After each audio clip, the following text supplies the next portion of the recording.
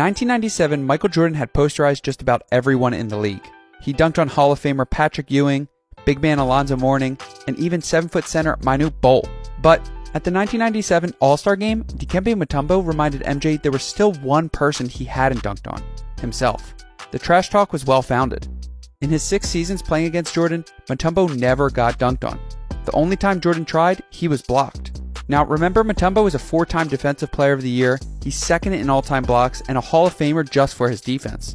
But if we learned anything from the Last Dance documentary, then we know MJ takes trash talk personally. And later that season, MJ got his revenge.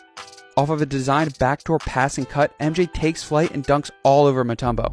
Then MJ hits him with the trademark finger wag. Mutombo still reminds Jordan to this day it took seven years just for one dunk. But unfortunately for him, Michael Jordan got his revenge and added Mutombo to the highlight reel. Shoot me a like if you didn't know this, and give me a follow if you want to see more.